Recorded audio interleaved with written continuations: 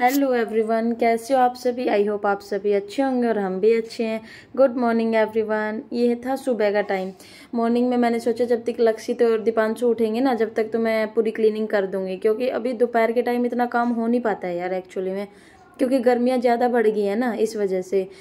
और आज ना मेरे को ये किचन का जो मेन सेल्फ रहता है ना जिसपे हम गैस स्टोव वगैरह और जो डेली यूज़ वाले बॉक्सेस होते हैं, वो रखते हैं, ये सारा क्लीन करना था एक्चुअल में। इस वजह से मैंने सुबह ही अपना काम शुरू कर दिया था और मैं आज ब्रेकफास्ट में बनाने वाली थी। एक्चुअली ब्रेकफास्ट तो आज क्या ही होगा? लेट वाला ब्रेकफास्ट हो जाएगा और अर्ली लंच हो जाएगा। तो आलू के पराठे बनाए थे, उसके लिए मैंने आलू तो बॉयल होने के लिए रख दिए थे और बाकी मैं यहाँ से सामान उठा रही थी। तो मैंने सोचा सबसे पहले जो किचन टावल रहता है ना, उसको ही साफ़ करती हूँ। तो सरफ लेके उसको मैं अच्छे से स्क्रबर से अच्छे से साफ़ कर लिया था वो मैंने किचन टावल और फिर इससे ना जो डेली बॉक्सेस रहते हैं, इनके अंदर मैं क्या रखती हूँ? चाय, चीनी, घी और शक्कर रहती है बच्चों के लिए जो होती है ना वो वाली। और एक ये ऑयल है जो डेली डेली यूज़ होता है सब्जियों में। तो ये वाले बॉक्सेस इधर ऊपर काउंटर पे ही रहते हैं। अदरवाइज़ बाकी सारे साइड वाले सेल्फ है जो अलमीरा उसमें रहते हैं और बाकी नीचे वाले बॉक्सेस में। तो ये वाले सारे क्लीन कर रही थी मैं। बिकॉज़ क्या होता है ना यार, यहाँ डेली डेली सब्ज़ी बनती है तो इसके ऊपर ना ऑयली ऑयली सी वो एक लेयर सी आ जाती है बॉक्सेस के ऊपर भी सेल्फ पे भी। तो ग्रीसी सा हो जाता है सब कुछ। तो इसलिए मैंने सोचा कि आज थोड़ी सी डीप क्लीनिंग कर देते हैं। मैं क्या होता है ना यार, मैं पूरे घर को एक साथ क्लीन नहीं कर पाती हूँ भाई। तो मैं, मेरे दो दो छोटे बच्चे हैं, इस वजह से। और ऊपर से अभी गर्मियाँ भी है ना तो नहीं हो पाता भाई इतना कम। तो मैं क्या करती हूँ, घर का कोई भी एक मेन कोना जो होता है, वो पकड़ लेती हूँ कि भाई ये मुझे इस वीक में अच्छे से क्लीन करना है। तो मैं उसी में फिर मेरे को ध्यान रहता है कि इस वीक मेरे को ये क्लीन करना है, साफ़ करना है। तो फिर जिस डे मेरे को टाइम लगता है टाइम मिलता है, मैं कर लेती हूँ। ये वाला सारा कॉर्नर खाली करके, सारे बॉक्सेस साफ़ करके, मैं जो स्क्रबर रहता है ना, बर्तन साफ़ करने वाला, उसी स्क्रबर से पूरी सेल्फ को क्लीन कर रही थी पहले। क्योंकि वो ग्रीसी हो रखी है, पूरी ऑयली ऑयली हो रखी है ना तो ऐसे डायरेक्ट गीले कपड़े से तो साफ़ नहीं होगी।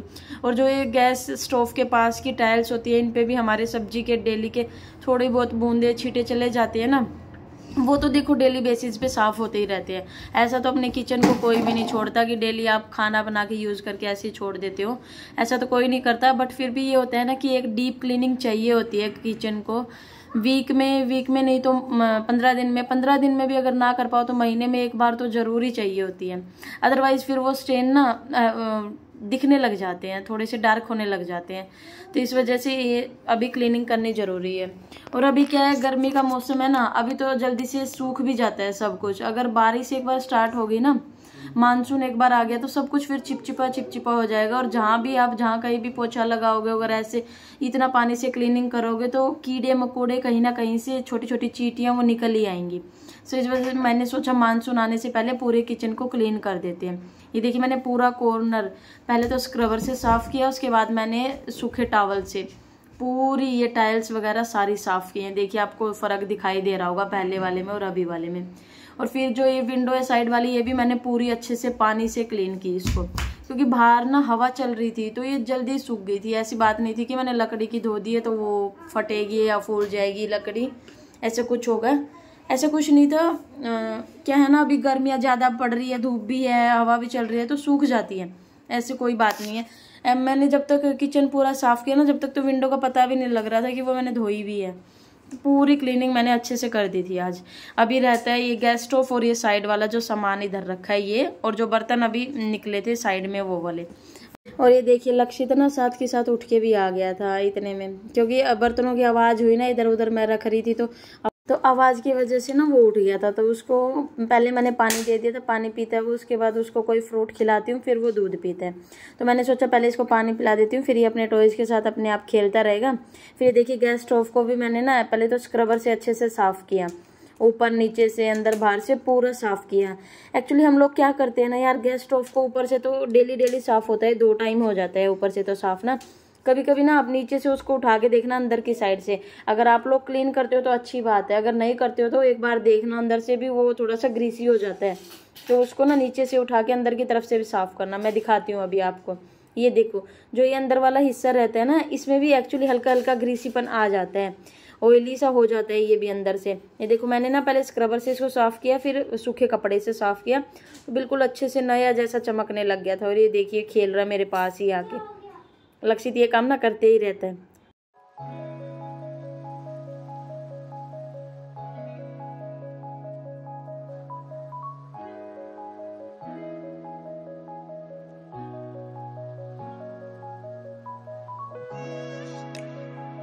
और ये देखिए, साथ के साथ ना आपको फ़र्क दिखाई दे रहा होगा दोनों में डिफरेंस जो पहले मैंने साफ़ नहीं किया था तब का, और अब ये जो गैस स्टोव अंदर से साफ़ हो गया ना, ये देखिए बिल्कुल क्लीन दिख रहा है ना।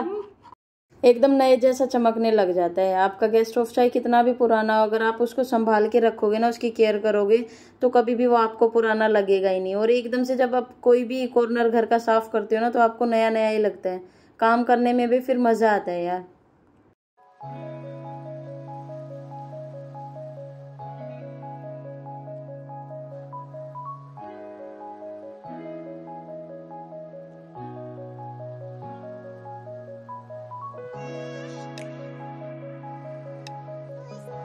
और किचन की सफ़ाई होते होते ये देखिए किचन टावल का क्या हाल हो गया था। और एक तो ये देखो, बिल्कुल ब्लैक ब्लैक हो गया था ना। तो मैंने इसको साफ़ नहीं किया, फिर मैंने इसको फेंक ही दिया, क्योंकि ये बहुत पुराना हो गया था। तो मैंने इसका दूसरे वाला जो हिस्सा मैंने कट करके रखा था ना पार्ट वो वाला निकाल लिया। ये देखिए दूसरा बिल्कुल क्लीन है ना इससे फिर मैं पहुँच रही थी। और एक्चुअली इस कॉर्नर में क्या है ना स्विच है तो यहाँ पे सारी इलेक्ट्रिक चीज़ें रहती हैं। तो मैं इसके पास ही जो इलेक्ट्रिक कैटल है, ये रहती है, क्योंकि दीपांशु के लिए पानी गर्म होता है दो टाइम इसमें। और एक हैंड ब्लेंडर है, वो भी यहीं पर रहता है, और एक जो एग बॉयलर है, वो भी। तो तीनों, वो भी मैंने अच्छे से साफ़ कर दिए थे, और सारी सफ़ाई करते करते ये देखिए, जब तक हमारे आलू भी बॉयल हो गए थे। और इनको ना, आप पानी में से उसी टाइम निकाल दोगे तो फिर इनमें पानी नहीं जाता ज़्यादा। आपके पराठे ना फटेंगे नहीं, फिर अच्छे से बन पाएँगे। तो इस, उबलते ही इनको उसी टाइम स्टेनर से स्टेन करके साइड रख दो आप। भला ही पराठे थोड़ी देर बाद बना लो, लेकिन पानी से निकाल दो। और फिर जो साइड वाले बर्तन थे और जो एक मेरे पास ये बास्केट है ना, ये एक्स्ट्रा है तो आज मैंने सोचा इसको धो करके अंदर रख देती हूँ। तो ये सारे बर्तन वर्तन, सारा ये वाला कॉर्नर भी मैंने क्लीन कर दिया था, और अब देखिए आप किचन का पूरा लुक कितनी अच्छे से सफ़ाई हो गई है ना। यार, ऐसे मतलब आज मेरे को खाना बनाने में भी मज़ा आ रहा था। और ये लक्षित के लिए सौंफ है। मीठी वाली होती है ना, ऊपर इनके शक्कर शुगर रहती है और अंदर सौंफ रहती है। और जो पहले का किचन था उसमें और इसमें देखिए आपको बहुत ज़्यादा डिफरेंस दिख रहा होगा। पूरी सेल्फ अच्छे से क्लीन हो गई है। और बाद में मैं आलूओं को छीलने लगी थी क्योंकि मेरे को अब बनाने थे पराठे। एक्चुअली घर की सफ़ाई मैं पहले पूरे की कर चुकी थी, बस किचन की रहती थी। मैंने सोचा था किचन को आज डीप क्लीन करना है ना। तो रूम तो दोनों मैंने पहले ही क्लीन कर दिए थे इस वजह से। तो बाद में किचन को साफ़ करके फिर मैं आलू के पराठे बनाने लगी थी। आलू मैंने छील लिए थे, उसके बाद मैं इनको मैश कर रही थी। आप इनको हाथ से भी मैश कर सकते हो बट मेरे हाथ में ना सफ़ाई करते हुए कट लग गया था। तो मैं बच रही थी थोड़ा सा उनको मैश करते हुए। और एक जो पोटैटो मैशर होता है ना, उससे भी आप कर सकते हो। एक्चुअली मेरे वाला मेरे को मिल नहीं रहा था, इसलिए मैं स्पून की हेल्प से कर रही थी। और वो देखिए, आटे का वो आलूओं का बिल्कुल एकदम से डो बना के साइड में रख दिया और उसके अंदर दो बारीक प्याज भी काटे हैं मैंने। और आटा बिल्कुल इसका सॉफ्ट लगता है। पराठे के लिए जो आप आटा लगाते हो ना, वो एक्चुअली बहुत ज़्यादा सॉफ्ट रहता है। और फिर आलू के अंदर आप जो अपनी पसंद के मसाले डालना चाहो वो डाल सकते हो। नमक, मिर्ची और एक ये मैंने डाला था। चाट मसाला और धनिया। एक्चुअली मेरे पास सूखा धनिया हरा धनिया नहीं था तो ये सूखा रखा है मैंने, धनिया वो वाला ऐड किया था। आप चाहो तो इसके अंदर हरी मिर्ची भी काट सकते हो, हल्दी भी डाल सकते हो, धनिया, सूखे वाला जो धनिया पाउडर रहता है वो भी डाल सकते हो। बट मैंने इतने सारे मसाले ऐड नहीं किए, क्योंकि लक्षित खाता है ना, फिर उसको अच्छा नहीं लगता। सिंपल वाले आलू और प्याज के पराठे थे ये वाले। और देखिए, मैं जब पराठे बनाने लगी और घी लगाने लगी तो बॉक्स मेरे को खाली मिला और मैं भूल गई फ्रिज से घी निकालना। फिर उसी टाइम निकाला तो फिर वो बिल्कुल बर्फ़ के जैसे निकल रहा था आइस क्यूब के जैसे। और ये देखिए, जो मैं डो लेती हूँ ना आटे का, उस जितना ही आलू का मिक्सचर लेती हूँ, तभी आलू का पराठे में ना मज़ा आता है, जब आलू बाहर झाँक रहे होते हैं आटे से। और ये देखिए, घी पिघल ही नहीं रहा था तो मैंने इधर इसको साइड साइड लगा के और छोड़ दिया था, ताकि मैं इसको पलटूँ तो इधर अलटते पलटते हुए घी पूरा फैल जाएगा फिर। और ये देखिए हमारे बिल्कुल करारे करारे पराठे बन करके तैयार हुए थे। और जब भी मैं पराठे बनाती हूँ ना यार, ऐसे ही बनाती हूँ, बिल्कुल ढाबा स्टाइल बड़े बड़े और इसके अंदर ना आलू का मिक्सचर ज़्यादा और आटा कम रहता है, क्योंकि मैं डो कम लेती हूँ और आलू का जो मिक्सचर है वो ज़्यादा लेती हूँ। ये देखिए आपको लुक एकदम से बिल्कुल ऐसे ही लग रहा होगा, जैसे हम ढाबे से लाते हैं। वो खाते हैं ना, होटल वगैरह में खाते हैं आलू के पराठे, बिल्कुल वही वाला। और टेस्ट तो बिल्कुल एकदम लाजवाब था। आप इसको दही के साथ, अचार के साथ कैसे भी खा सकते हो। और ये देखिए मैंने लक्षित का तो सर्व भी कर दिया था कि आप तो खा लो जल्दी जल्दी। ये लक्षित खाने लग रहा था और बोल रहा था, मम्मा, बहुत ही अम्मी बने हैं। और ये फिर हमने हमारे लिए भी खाना लगा लिया था, हम बैठे थे खाने के लिए।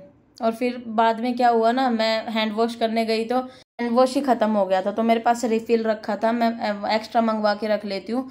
तो मैंने सोचा सबसे पहले यही डालती हूँ, फिर भूल जाती हूँ ना, फिर बाद में साबुन से हैंड वॉश करने पड़ते हैं। सो पहले मैंने इसको रिफ़िल किया। और ये देखिए बाद में लक्षित क्या कर रहे हैं।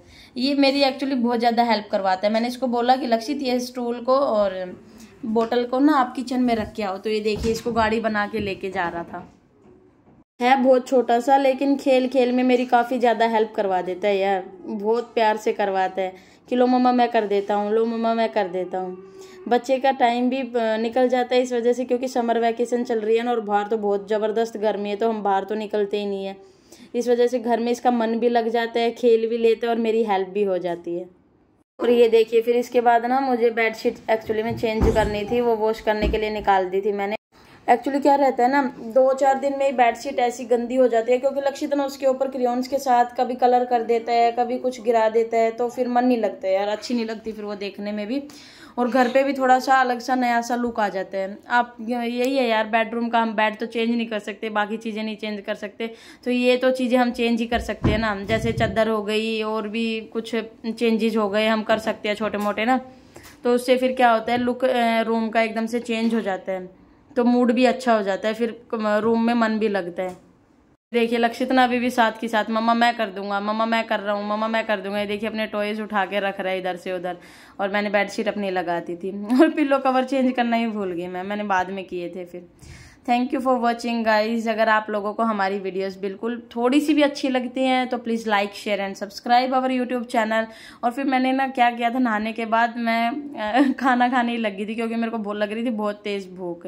फिर मैं हल्का सा टचअप करने लगी थी। मेरे को हेयर कॉम करने थे हल्की सी लिपस्टिक लगाई काजल लगाई और थोड़ा सा परफ्यूम बिल्कुल क्योंकि उससे फिर अच्छा लगता है ना यार मूड स्विंग हो जाता है। वरना फिर वही ऐसे लगता है कि नहा के ऐसे ही बैठ गए तो हल्का सा टचअप तो होना ही चाहिए।